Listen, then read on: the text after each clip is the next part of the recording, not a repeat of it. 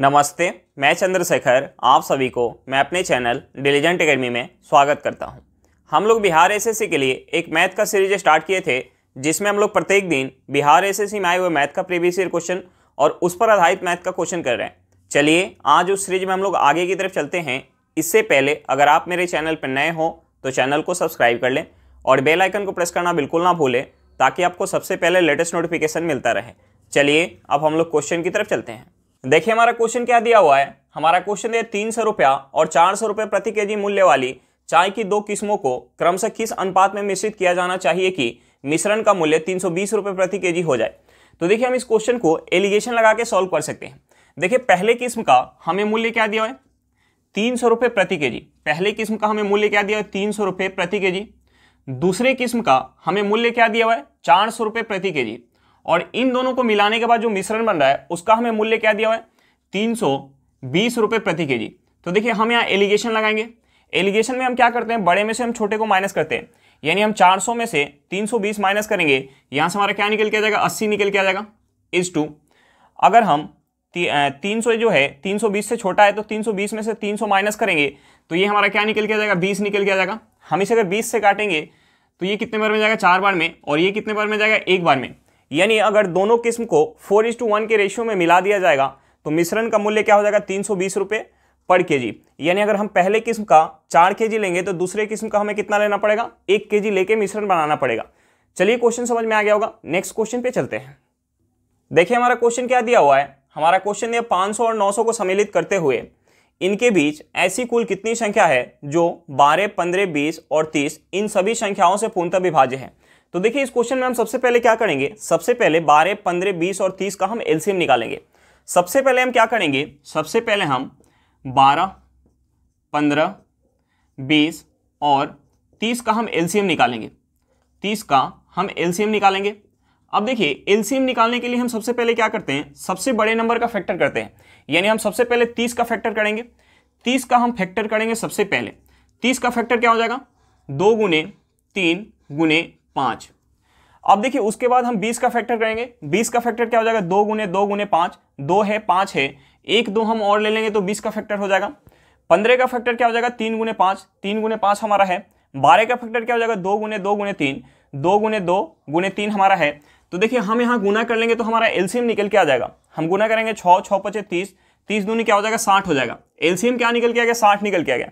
तो देखिए, साठ वैसी छोटी संख्या होगी सबसे, जो बारह, पंद्रह, बीस और तीस से पूर्णतः विभाजित होगी। लेकिन हमें जो है, संख्या कौन सी लेना है? 500 से लेकर 900 तक, यानी 500 और 900 को सम्मिलित करते हुए हमें लेना है। तो देखिए, वैसी 60 का हम मल्टीपल लेंगे 60 का हम वैसे मल्टीपल लेंगे, जो 500 के करीब होगा। तो देखिए, अगर हम 60 में 8 से गुना कर लें तो हमारा क्या निकल के आ जाएगा? 480 जो 500 से छोटा है। हमें क्या लेना है? 500 और 900 को सम्मिलित करते हुए, यानी 500 से लेना है हमें। तो देखिए, हम 60 का वैसा मल्टीपल लेंगे, जो 500 के करीब आएगा। 500 से छोटा नहीं 500 के करीब। तो हम 60 में अगर 9 से गुना कर लें तो हमारा क्या निकल के आ जाएगा? 540 यानी 500 के करीब सबसे छोटी संख्या क्या हो जाएगी? 540 होगी जो 12, 15, 20 और 30 से पूर्णतः विभाजित होगी। अब देखिए उसके बाद हम संख्या लेंगे। उसके बाद हम संख्या लेंगे साठ गुने दस। साठ गुने दस हमारा क्या हो जाएगा? छः सौ हो जाएगा।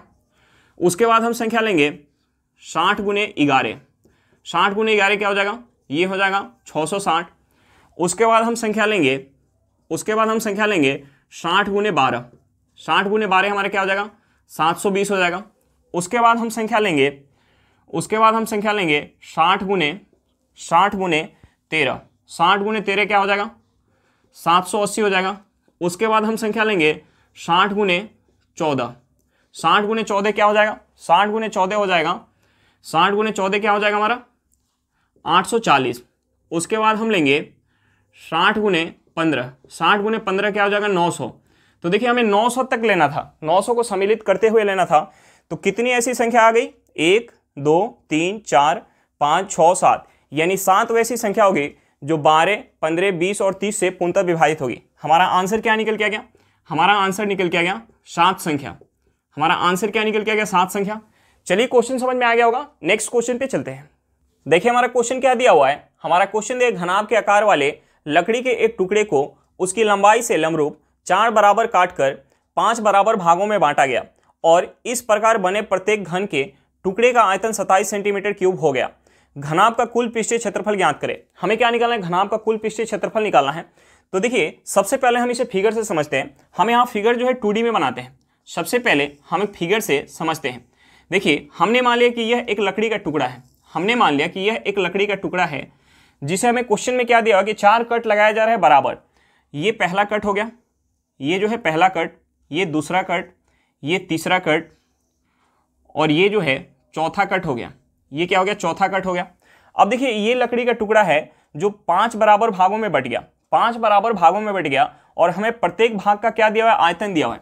हमें आयतन क्या दिया? सत्ताईस सेंटीमीटर क्यूब। और जो प्रत्येक भाग है, वो एक घन के आकार का बन रहा है। तो देखिए, इस हमें छोटे घन का क्या दिया हुआ है? हमें आयतन दिया हुआ है। तो हम यहाँ से इस छोटे घन का भुजा निकाल सकते हैं।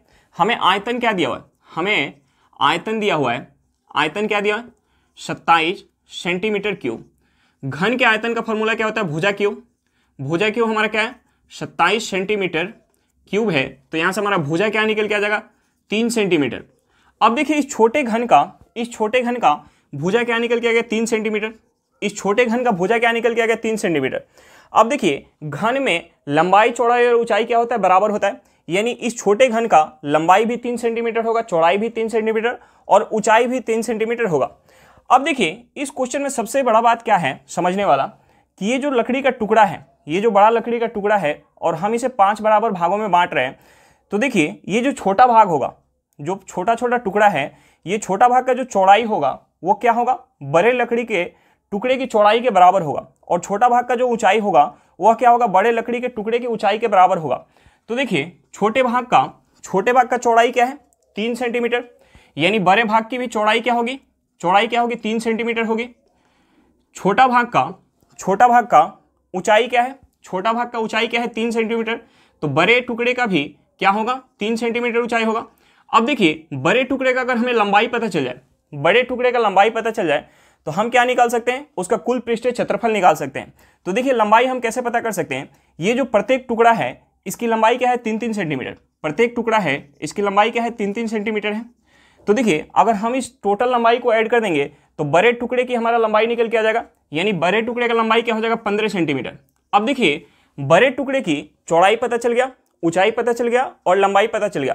तो हम कुल पृष्ठीय क्षेत्रफल निकाल सकते हैं। कुल पृष्ठीय क्षेत्रफल का फॉर्मूला होता है two into L B plus B H plus H L अब देखिए हम यहाँ वैल्यू पुट करेंगे, ये हो जाएगा दो गुने एल गुने बी करेंगे। एल क्या है? पंद्रह।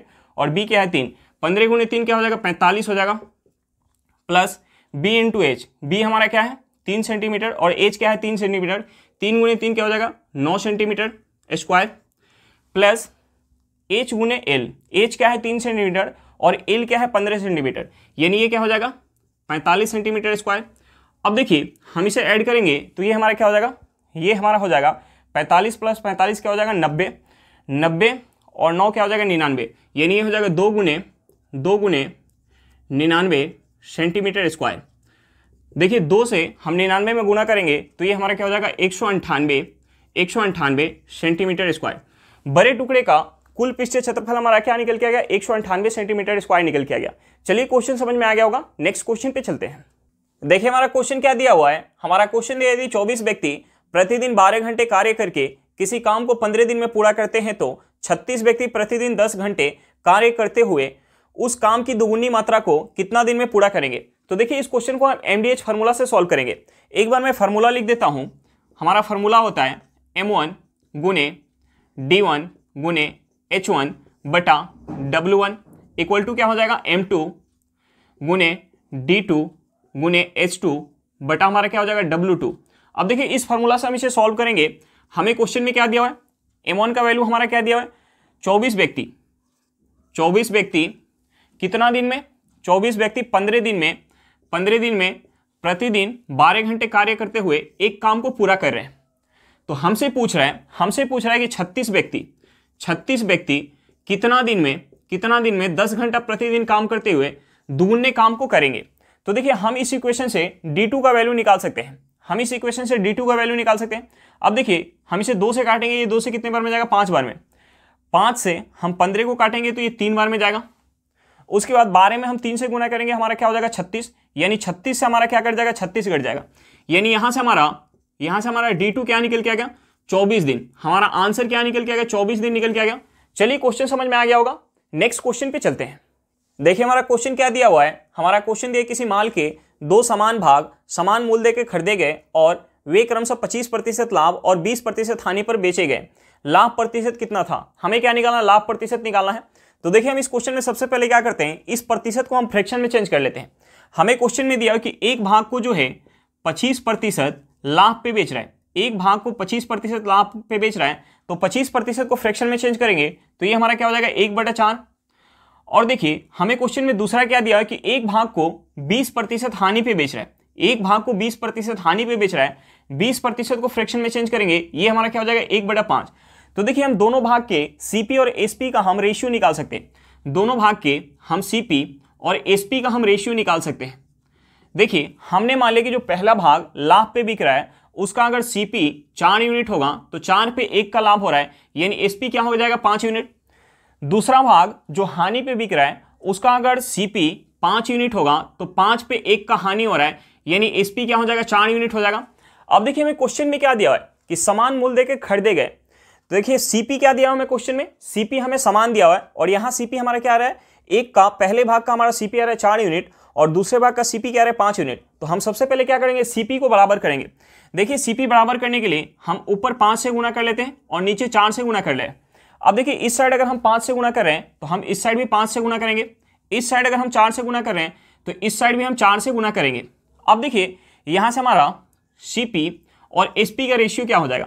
अगर हम चार में पाँच से गुना करेंगे तो ये क्या हो जाएगा? बीस हो जाएगा। इस टू पाँच में पाँच से गुना करेंगे तो क्या हो जाएगा? पच्चीस हो जाएगा। पाँच में चार से गुना करेंगे तो क्या हो जाएगा? बीस हो जाएगा। और यहाँ हम चार में चार से गुना करेंगे तो ये क्या हो जाएगा? सोलह हो जाएगा। अब देखिए सीपी क्या आ गया? दोनों भाग का सीपी हमारा बराबर निकल के आ गया। तो देखिए, उसका टोटल लागत कितना है? बीस यूनिट बीस यूनिट यानी चालीस यूनिट का टोटल लागत है और बेचने पे उसे प्राप्त कितना हो रहा है? पच्चीस यूनिट प्लस का सोलह यूनिट यानी इकतालीस यूनिट उसे प्राप्त हो रहा है। देखिए, चालीस रुपया खर्च किया और इकतालीस रुपया प्राप्त कर रहा है। यानी एक का प्रॉफिट हो रहा है। कितने पे? चालीस पे। गुने सौ करेंगे तो हमारा प्रॉफिट परसेंट निकल के आ जाएगा। अगर हम चालीस से सौ को काटेंगे तो ये कितने बार में जाएगा? टू पॉइंट फाइव बार में। यानी लाभ प्रतिशत हमारा क्या निकल के गया? टू पॉइंट फाइव प्रतिशत। चलिए क्वेश्चन समझ में आ गया होगा। नेक्स्ट क्वेश्चन पे चलते हैं। देखिए, हमारा क्वेश्चन क्या दिया हुआ है? हमारा क्वेश्चन दिया दो बटा नौ और सात बटा दस, दोनों के व्युत्क्रमानुपाती के योग का व्युत्क्रमानुपाती क्या है? तो देखिए, हम सबसे पहले क्या करते हैं? दो बटा नौ और सात बटा दस का हम व्युत्क्रमानुपाती निकाल लेते हैं। व्युत्क्रमानुपाती का मतलब क्या होता है? उल्टा। यानी इसका उल्टा क्या हो जाएगा? नौ बटा दो हो जाएगा। और इसका उल्टा क्या हो जाएगा? दस बटा सात हो जाएगा। हमें क्या निकालना है? इसका योग निकालना है। तो देखिए, हम यहाँ से इसका योग निकालेंगे तो एलसीएम हमारा क्या हो जाएगा? एलसीएम हमारा हो जाएगा चौदह। एलसीएम क्या हो जाएगा? चौदह। दो से चौदह सात बार में जाएगा। सात से हम नौ में गुना करेंगे, ये क्या हो जाएगा? तिरसठ प्लस ये सात से चौदह दो बार में जाएगा। दो से हम दस में गुना करेंगे, ये क्या हो जाएगा? बीस। यानी यहाँ से हमारा क्या निकल के आ गया? यहाँ से निकल के आ गया तिरासी बटा चौदह। तिरासी बटा चौदह। तो हमें निकालना क्या है? योग के व्युत्क्रम अनुपाति। यानी इसका हमें उल्टा निकालना है। तो देखिए, इसका उल्टा क्या हो जाएगा? चौदह बटा तिरासी हो जाएगा। हमारा आंसर क्या निकल के आएगा? चौदह बटा तिरासी। यानी कौन सा ऑप्शन होगा हमारा? ऑप्शन ए हमारा सही आंसर हो जाएगा। हमारा सही आंसर क्या निकल के आ गया चौदह बटा तिरासी। चलिए क्वेश्चन समझ में आ गया होगा। नेक्स्ट क्वेश्चन पे चलते हैं।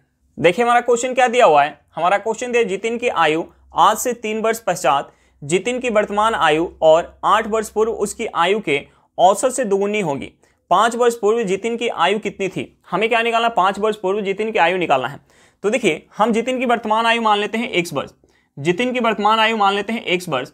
तो हमें क्वेश्चन में दिया हुआ है कि जितिन की आज से तीन वर्ष पश्चात, आज से तीन वर्ष पश्चात, यानी आज का आयु हमने क्या मान लिया? एक्स वर्ष। यानी तीन वर्ष पश्चात क्या हो जाएगा? एक्स प्लस का तीन। जो आयु होगा, वो हमें क्वेश्चन में दिया हुआ है, वर्तमान आयु और आठ वर्ष पूर्व आयु के औसत से दुगुनी है। यानी अगर हम औसत निकाल के उसमें दो से गुना करेंगे तो इसके बराबर होगा। यानी आठ वर्ष पूर्व, आठ वर्ष पूर्व और वर्तमान। वर्तमान में क्या है? एक से, और आठ वर्ष पूर्व क्या हो जाएगा? एक्स माइनस का आठ। का अगर हम औसत निकालेंगे और इस औसत में अगर हम दो से गुना करेंगे, इस औसत में अगर हम दो से गुना करेंगे तो इसके बराबर निकल के आएगा। अब देखिए, यहाँ से हमारा दो से दो कट जाएगा। दो से दो कट जाएगा। हम यहाँ से लिख सकते हैं X plus three equal to क्या हो जाएगा? एक्स प्लस एक्स माइनस का आठ। अब देखिए, ये हमारा क्या हो जाएगा? एक्स प्लस एक्स क्या हो जाएगा? Two X. और इस एक्स को अगर हम उस साइड लेके जाएँगे, यानी प्लस में तो माइनस में हो जाएगा, यानी टू एक्स में से एक्स माइनस करेंगे, हमारा क्या हो जाएगा? एक्स हो जाएगा। और ये अगर अगर माइनस आठ को हम इस साइड लेके आते हैं तो माइनस में तो हमारा क्या हो जाएगा? प्लस में हो जाएगा। यानी प्लस का आठ और प्लस का तीन हमारा क्या हो जाएगा? ग्यारह हो जाएगा। अब देखिए, एक्स का वैल्यू क्या निकल के आ गया? ग्यारह वर्ष निकल के आ गया। यानी जितिन की वर्तमान आयु क्या है? ग्यारह वर्ष है। लेकिन हमसे पूछ क्या रहा है? पाँच वर्ष पूर्व। तो देखिए, पाँच वर्ष पूर्व क्या हो जाएगा? पाँच वर्ष पाँच वर्ष पूर्व क्या हो जाएगा? पाँच वर्ष पूर्व हो जाएगा एक्स माइनस का पाँच करेंगे, यानी ये क्या हो जाएगा? ग्यारह माइनस का पाँच। हमारा आंसर क्या निकल के जाएगा? छह वर्ष। हमारा आंसर क्या निकल के आ गया? छह वर्ष निकल के आ गया। चलिए क्वेश्चन समझ में आ गया होगा। नेक्स्ट क्वेश्चन पे चलते हैं। देखिए, हमारा क्वेश्चन क्या दिया हुआ है? हमारा क्वेश्चन दिया एक दो अंकों वाली संख्या के अंकों का गुणनफल बारह है। यदि हम संख्या में छत्तीस जोड़ दे तो प्राप्त नई संख्या अंकों को इंटरचेंज कर बनी है। वह संख्या क्या है? हमें क्या निकालना संख्या निकालना है। तो देखिए, हम संख्या को कुछ मान लेते हैं। देखिए, हमने संख्या मान लिया ए बी हमने संख्या दो अंकों वाली संख्या एक मान लिया ए बी अब देखिए मैं क्वेश्चन में दिया हुआ है कि संख्या के अंकों का गुणनफल ए जो है हमारा दहाई स्थान पे है और बी क्या है? इकाई स्थान पे। और हमें क्वेश्चन में दिया है कि संख्या के अंकों का गुणनफल क्या है? बारह है। यानी ए गुने बी हमारा क्या है? बारह है। और दूसरा हमारा क्या दिया हुआ है कि अगर संख्या में अगर हम छत्तीस ऐड कर दें, यानी ए बी में अगर हम छत्तीस ऐड कर दें तो जो हमारी नई संख्या प्राप्त हो रही है, वो क्या है? संख्या के अंकों के इंटरचेंज से बनी है। यानी हमारी संख्या क्या प्राप्त हो रही है छत्तीस जोड़ने पे? बी ए प्राप्त हो रही है। अब देखिए, हम यहाँ ऑप्शन से बना सकते हैं इस क्वेश्चन को। हम यहाँ ऑप्शन से बना सकते हैं। देखिए, यहाँ क्या है हमारा? ऑप्शन ए में है बासठ। यानी अगर हम यहाँ अंकों का गुणनफल देखेंगे, यानी छः गुने दो करेंगे तो क्या होगा? बारह हो जाएगा। अब देखिए, अगर हम इसमें छत्तीस ऐड कर दें, हम इसमें छत्तीस ऐड करेंगे तो ये हमारा क्या हो जाएगा? छत्तीस ऐड करेंगे तो ये हमारा क्या हो जाएगा? अंठानवे हो जाएगा। तो देखिए, अंठानवे जो है, बासठ के इंटरचेंज से नहीं बनेगा, यानी ऑप्शन ए हमारा आंसर नहीं होगा। अब देखिए ऑप्शन बी में हमारा क्या है? चौंतीस है। तो यहाँ अगर हम अंकों का गुणनफल देखेंगे, यानी तीन गुने चार हमारा क्या हो जाएगा? बारह हो जाएगा। और हम इस चौंतीस में अगर हम छत्तीस ऐड कर दें तो ये हमारा क्या हो जाएगा? सत्तर। यानी संख्या के अंकों के इंटरचेंज से नहीं बनेगा सत्तर जो हमारा है। अब देखिए, यहाँ क्या है? ऑप्शन सी में क्या है? छब्बीस है। तो देखिए, यहाँ अंकों का गुणनफल, यानी दो गुने छः हमारा क्या है? बारह है। और अगर हम इसमें हम इसमें अगर छत्तीस ऐड कर दें, हम इसमें छत्तीस ऐड करेंगे तो ये हमारा क्या हो जाएगा? ये हमारा क्या हो जाएगा? बासठ। यानी बासठ जो है, बासठ हमारा क्या है? इंटरचेंज से बन रहा है। बासठ क्या है? दो और छः के इंटरचेंज से बन रहा है। यानी हमारा आंसर क्या हो जाएगा? ऑप्शन सी यानी वो संख्या क्या होगी? छब्बीस होगी। हमारा आंसर क्या निकल के आ गया? छब्बीस निकल के आ गया। चलिए क्वेश्चन समझ में आ गया होगा। नेक्स्ट क्वेश्चन पे चलते हैं। देखिए, एक हमारा बोर्ड मास के ऊपर आधारित सिंप्लीफिकेशन दिया हुआ है। बोर्ड मास में हम सबसे पहले ऑफ़ का काम करते हैं, उसके बाद हम डिवाइड का काम करते हैं, उसके बाद हम मल्टीप्लाई का काम करते हैं, उसके बाद हम प्लस का काम करते हैं, उसके बाद हम माइनस का काम करते हैं। अब देखिए, हम सबसे पहले ऑफ़ का काम करेंगे। यहाँ हमारा क्या दिया है? पच्चीस प्रतिशत का सात सौ बीस, यानी पच्चीस प्रतिशत को अगर हम फ्रैक्शन में चेंज करेंगे तो ये हमारा क्या हो जाएगा? एक बटे चार का हमें क्या दिया? सात सौ बीस, सात सौ बीस प्लस संतावन भागे हमें क्या दिया हुआ है? उन्नीस दिया हुआ है। गुने एक बटा तीन का हमें क्या दिया हुआ है? सौ बटा ग्यारह का तैतीस बटा पच्चीस माइनस पंद्रह प्रतिशत को अगर हम फ्रैक्शन में लिखेंगे तो ये हमारा क्या हो जाएगा? ये हो जाएगा तीन बटा बीस, तीन बटा बीस का तीन सौ। ये हमारा क्या है? तीन सौ है। अब देखिए, हम सबसे पहले क्या करेंगे? ऑफ़ का काम करेंगे। देखिए, हम चार से अगर सात सौ बीस को काटेंगे तो ये कितने बार में जाएगा? ये जो है, कितने बार में जाएगा चार से? एक बार में जाएगा हाथ में तीन, ये क्या हो जाएगा? बत्तीस, आठ बार में ज़ीरो, यानी एक सौ अस्सी बार में जाएगा। उसके बाद हम यहाँ, हम यहाँ जो है, यहाँ हम सबसे पहले कहाँ का काम करेंगे? यानी हम 25 से अगर 100 को काटेंगे, ये कितने बार में जाएगा? चार बार में जाएगा। चार बार में जाएगा।